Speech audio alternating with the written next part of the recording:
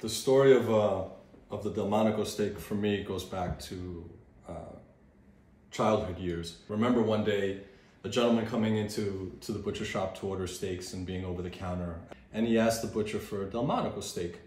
The customer must have asked him for a kind of rib steak, and, and he kind of leaned over the counter and was like, "Let me let me tell you what the real Delmonico steak is." He proceeded to tell him this story going back to when he was a butcher at the Waldorf Astoria in New York City. And uh, the Waldorf was very famous for doing all their own in-house butchery.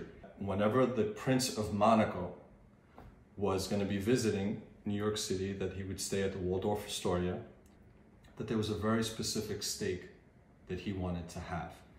What the prince wanted was a very special cut, that there are only two of them on the whole carcass, and that was actually the first solid bone from the short loin, that the short loin complex has one full solid bone rib on it, and that was the specific steak that the Prince of Monaco liked. In common speak, that became, that got changed into Delmonico or the Prince de Monaco, or if they were talking in Italian, uh, Delmonico steak it made sense to me that if I was the Prince of Monaco and I was coming into New York City, I'd want to have a steak that nobody else could have.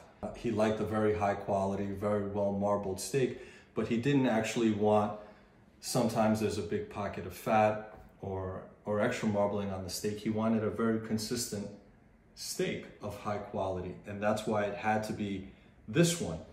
And for me, over the decades since I first heard that story, uh, and I've heard countless other versions of it. It's really the only one that stuck to me as true because it made sense. It was a steak. It was a story of a high quality steak, of a large format steak, and something very unique and very special. And in all in all my years in cutting steaks since then, I personally fell in love with that story. It's the story that I know to be true, and still to this day, it's the one that I tell. If you were to come and ask me to cut you a Delmonico steak, I would tell you I'm going to cut you a true Delmonico steak and this would be the steak that I would cut for you.